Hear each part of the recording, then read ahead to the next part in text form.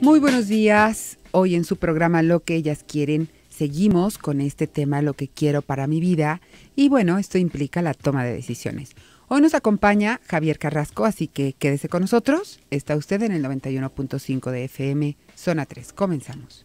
¿Por qué los hombres somos como somos? ¿Cómo podemos tratar y entender mejor a una mujer? ¿Cómo saber lo que ellas quieren? Zona 3 presenta un programa cuyo nombre lo dice todo. Todo, todo, todo. Lo que ellas quieren, con la doctora Alicia Soltero.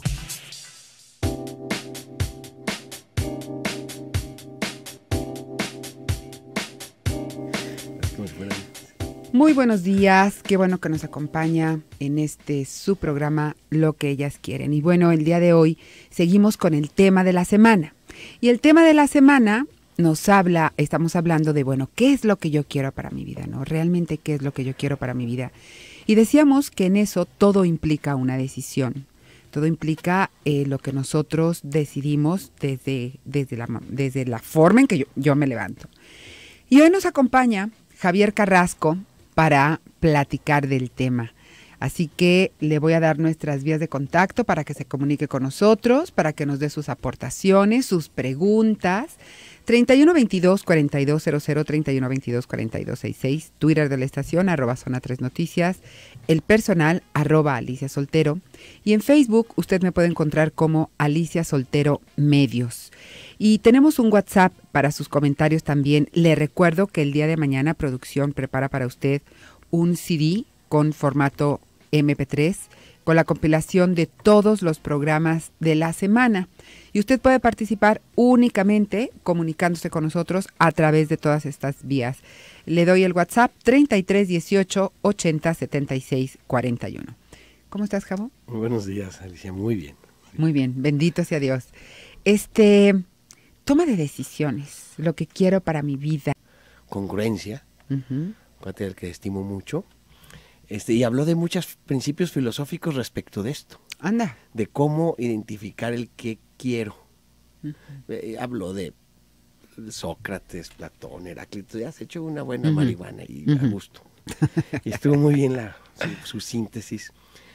pero eh, eh, olvidándonos tantito de, la profundidad que él tomó, la verdad es que la gran pregunta que un ser humano se puede hacer es que quiero, pero no la puede resolver si no se pregunta primero quién soy. Las dos grandes preguntas, al final son tres, pero la tercera es luego entonces un efecto. ¿Quién soy? ¿Qué quiero? ¿Y cómo? Pero el, quién, el qué quiero y el, qué, y el quién soy, la pregunta no es nomás hacerte la pregunta, sino cuando la respondes, cuando respondes ese que quiero, ¿quién lo responde? ¿Lo responde tu esencia o lo responde tu imaginario, tu ego, tu creencia de vida? Lo que tú crees que eres, luego entonces va a ser lo que tú crees que quieres. Entonces cuando tú estás en ese sentido, pues eh, hay principios de, orientales que dicen, pues ten cuidado con lo que anhelas, porque el universo va a conspirar para que se te dé.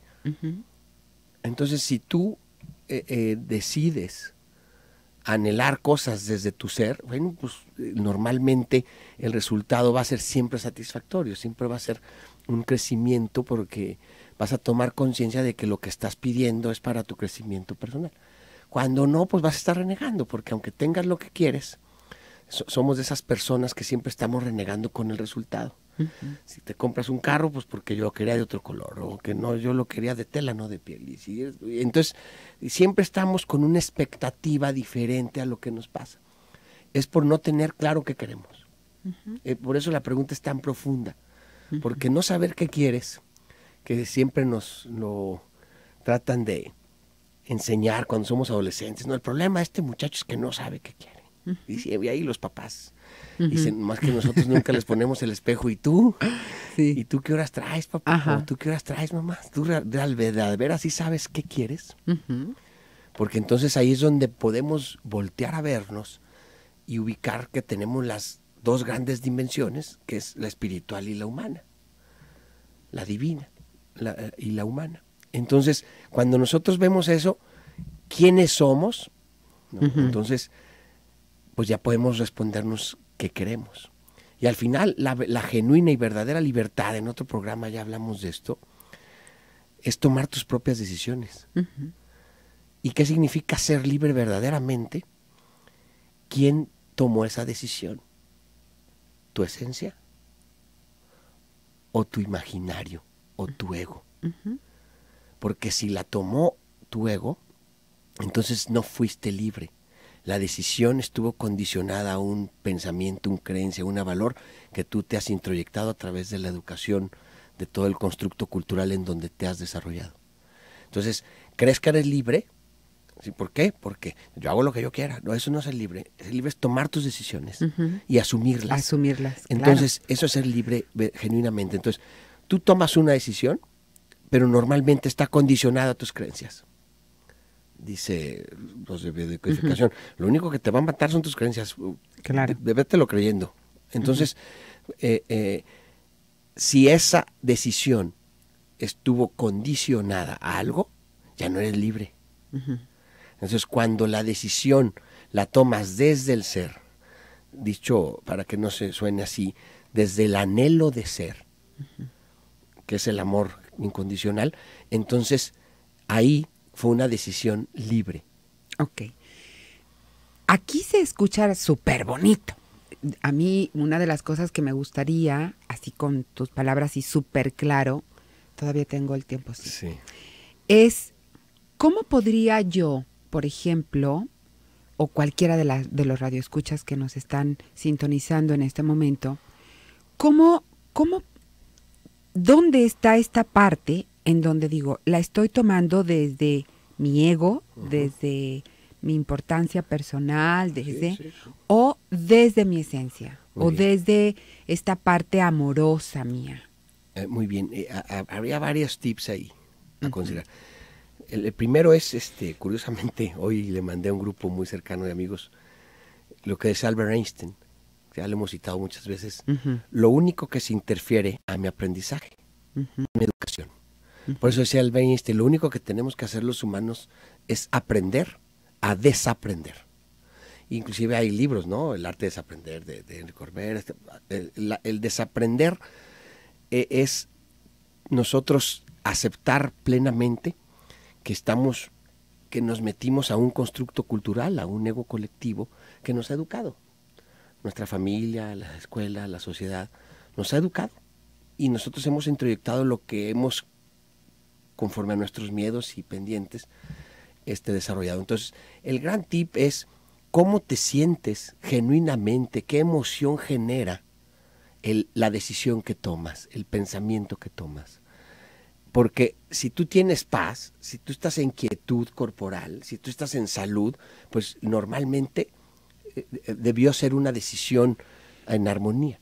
Cuando tú estás ansioso, cuando tú estás enfermo, tienes algún dolor, cuando tú lo dijiste así y, tienes el genuinamente observas que lo que hiciste fue fregarte al otro o querer tener la razón o querer entonces es, una emoción de celo es una emoción de coraje es una emoción de envidia es una emoción de tristeza es una emoción de, cualquier, em, cualquier eh, emoción sin armonía pues entonces fue una decisión que no estaba en línea pues que no estaba en línea con tu esencia eh, la, el gran termómetro es la emoción. Por eso Edgar Tolle dice, más allá de la felicidad y de la infelicidad está la paz. ¿Sientes paz? Palomita. Pero genuinamente. No una paz que yo te, ah, no, yo sentí, mira, Alicia, yo estoy en paz. No, y, por dentro, lo importante es de a de veras. La realidad es lo que es, pero la vida es lo que significa. ¿En dónde? En tu escenario interno. Es de los postulados más importantes de, de nuestro maestro Alfonso. O sea, no te puedes hacer tonto tú a ti, pues, pero si no te observas, claro que te haces tonto tú a ti. Si tú reaccionas, si tú te justificas, si tú explicas por qué haces lo que haces, pues, e, este, no eres genuino contigo. El cerebro es el órgano más mentiroso que tenemos. El cuerpo y la emoción no. Así es, así es. Bueno, tenemos ya ahí un tip, más o menos, ¿no? así que mándenos sus preguntas, este, sus aportaciones WhatsApp 33 18 80 76 41. Twitter de la estación, arroba Zona 3 Noticias, el personal, arroba Alicia Soltero. Y en Facebook usted me puede encontrar como Alicia Soltero Medios. Vamos a una pausa comercial. Quédese con nosotros, ahorita regresamos.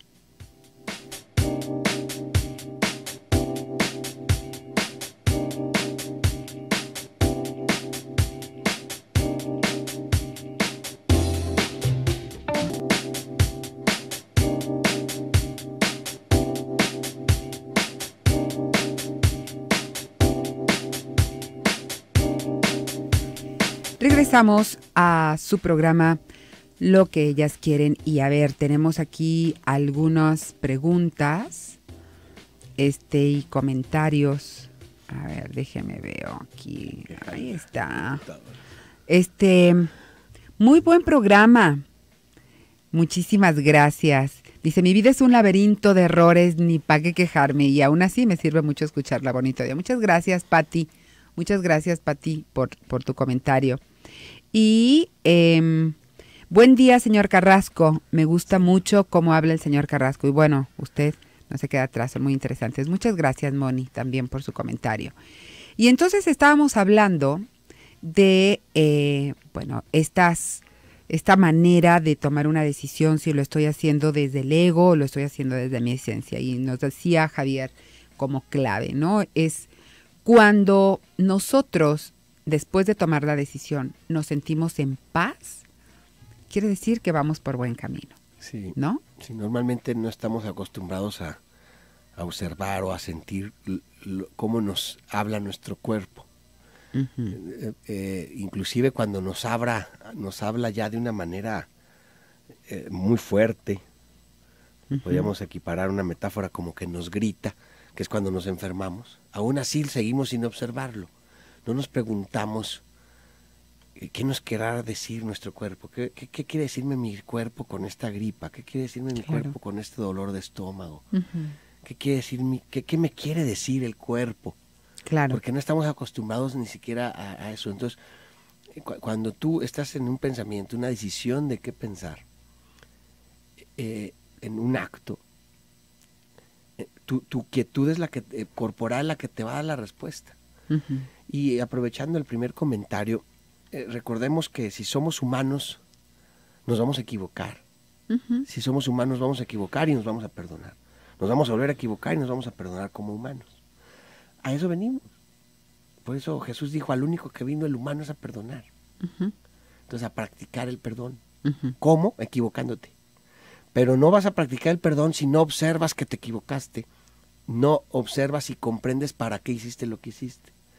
Ese es eh, el camino del perdón, que es la, emoción con más impacto, es la comprensión.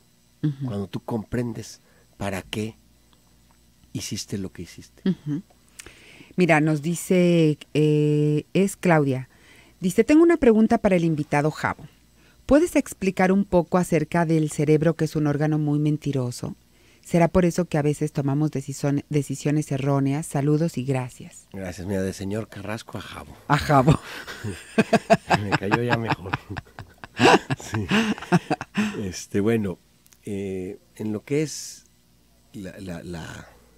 los estudios, en mi caso de mi escuela de bioneuroemoción o biodecodificación de Alicia, etcétera, eh, nos damos cuenta que lo único que nos puede eh, quitar de la armonía del universo, el universo está en armonía, ese no necesita de tu armonía. Pero ¿qué pasa con tu universo? ¿Qué piensas tú, tus pensamientos, tus creencias, tus valores? Es decir, la actitud de tu vida está en armonía con, con el universo o no. Entonces tu pensamiento, que es el que da origen a todo, eh, eh, normalmente, que es la gran característica del, ser humano, es ser una conciencia autorreflexiva, en qué piensas, porque el, órgano que piensa, aunque se supone que todos tienen una, dicen que el corazón piensa, ¿no? Ya a nivel holográfico, el hígado, etcétera, pero estamos hablando de lo que conocemos como el proceso intelectivo del humano, pues es el cerebro. Entonces el cerebro, eh, ¿por qué es el más mentiroso? porque es el único que tiene esa capacidad de discernir. es el único que articula un lenguaje. Es el único que, que, que, que donde está el libre albedrío del humano. Y el cuerpo es el que te informa y las emociones. Entonces, cuando tú puedes fusionar tus pensamientos, tus emociones y tus sensaciones, es cuando estás en unidad contigo en esta línea del tiempo, en esta experiencia. El cerebro eh, eh, es el único que puede discernir una decisión o no, es el que decide qué pensar. Por eso es el mentiroso, porque está educado conforme a donde fuiste educado cada persona. Eh, de hecho, hablas español porque creciste aquí, si no hablaras chino, si no hablaras alemán. Entonces te, desarrollaste y tu cerebro se desarrolló y se acostumbró a pensar con ciertas costumbres, creencias, con, tradición, modo y cultura de donde desarrollaste. Y, eso no es la verdad, diría Aristóteles, es el paradigma donde te desarrollaste. El principio es lo que es y el paradigma es lo que crees que es. Entonces el cerebro es mentiroso porque si somos humanos, el cerebro no, todavía no piensa que es lo que es, sino lo que cree que es. Y entonces el, el, eh, el, cuerpo, el estómago, por ejemplo, pues no sabe si lo que el cerebro piensa es cierto o no. Claro. El, inconsciente es inocente, eh, la emoción es inocente, eh, cualquier órgano de tu cuerpo es inocente. él, cree todo lo que te dice el, el pensamiento. Entonces, si, tú todo el tiempo estás estresado, ay, qué raro que tenga gastritis. No, bueno, pues raro, raro que no tengas. Sí. y yo te diría, por ejemplo, también, eh, cuando, te, voy a poner un ejemplo. Imagínate tú, así como para especificar esto, imagínate que frente a ti tienes un plato con jícama y hay dos limones partidos y hay tajín y hay sal. Y vas a empezar a exprimir el limón así como riquísimo. Le pones poquita sal y tajín y que se haga ese caldito en chilosito y ahorita te lo tomas. ¿Qué pasó en tu boca? Lo más seguro es que tú salivaste. Las personas que estuvieron escuchando la descripción seguramente salivaron. Yo estoy salivando. Y yo te pregunto, ¿dónde está el plato con jícama y con chile y con limón y con sal. ¿No está?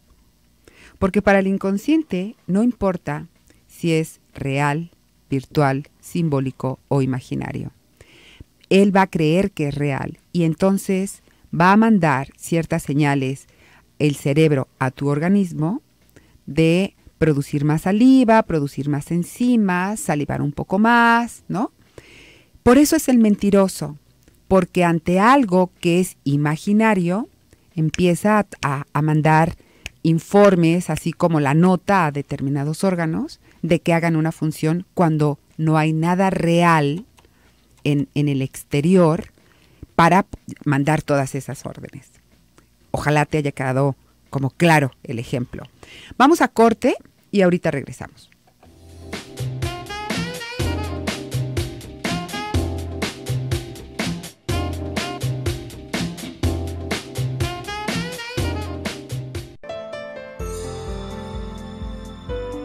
Imagina llegar a un spa por un masaje y que te reciban con una bebida relajante en el jardín y una biblioteca para leer el título que desees. Que te pongan cojines herbales calientes para relajarte al máximo. Te den un aperitivo te ofrezcan aromaterapia y musicoterapia personalizada en unas instalaciones de primera. En Green Spa te ofrecemos eso y mucho más, razón por la que ponemos nuestros certificados de regalo con el 15% de descuento para que regales amor. Citas al 2410-2887, 2410-2887, www.greenspa.com.mx. Ven a Green Spa y comprueba por qué nuestros resultados son nuestra mejor publicidad.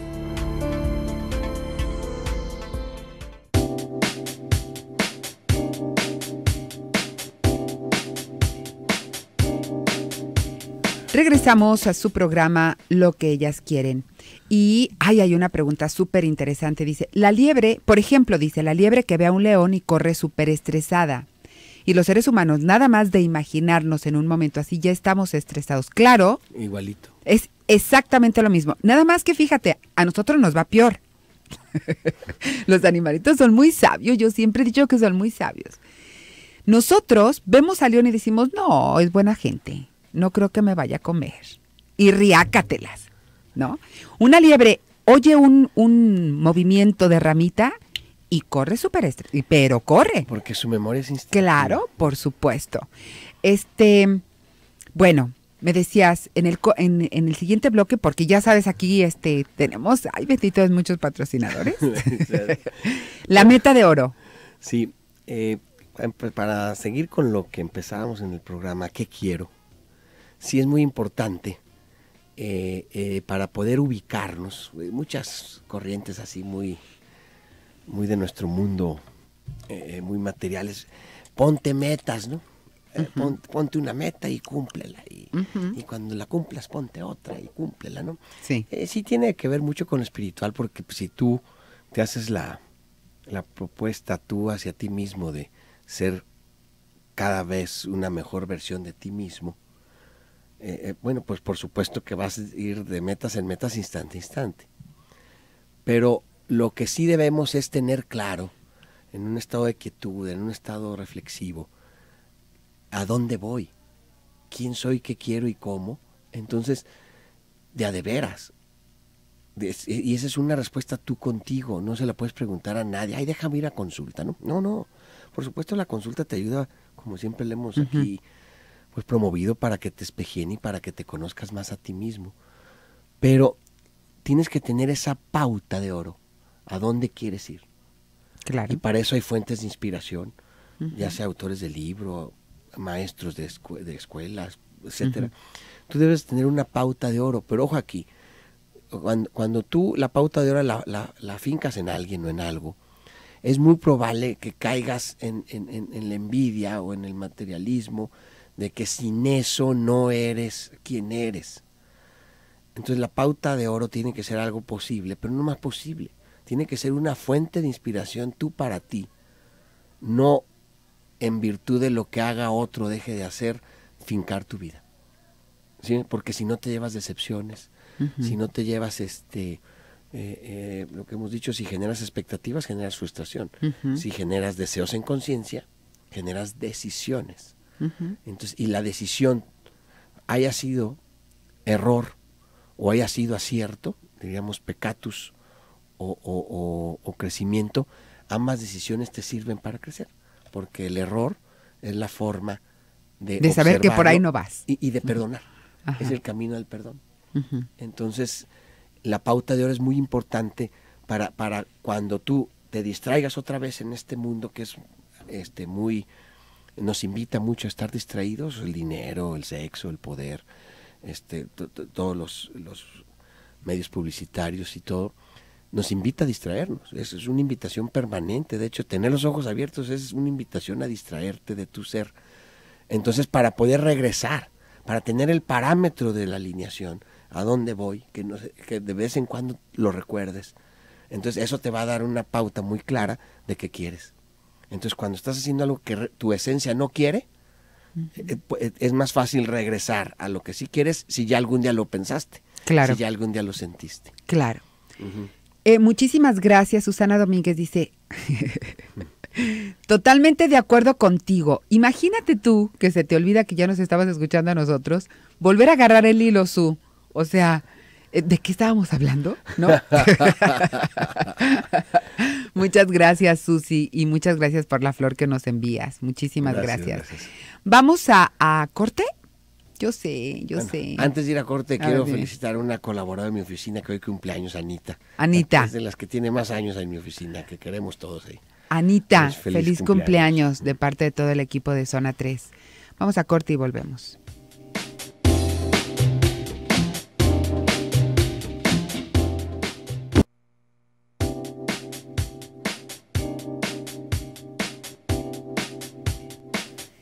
Y regresamos a la parte final de su programa Lo que ellas quieren dice, últimamente cuando voy a casa de mi mamá me empieza a doler la cabeza. Es extraño porque solo allá me duele y bueno, hay algo que me molesta de mi hermana, que tome mis cosas sin pedirlas, por ejemplo, tomo de mi ropa un chaleco y ya, y eso ya no tiene vuelta. he querido decirle eso que me molesta, pero me da como penita. Ah, ahí está el dolor de cabeza. ahí está el cerebro mentiroso Ajá. que hace algo que está sintiendo lo contrario. Excelente programa, como siempre. Quiero preguntarle a- al señor Javier Carrasco Ay, de algún lugar en donde nos enseñen a crecer espiritualmente, que si conoces a alguien. No, bueno, O algo. todas las escuelas de desarrollo, la verdad es que hay tantas que sería injusto nombrar algunas, ¿no?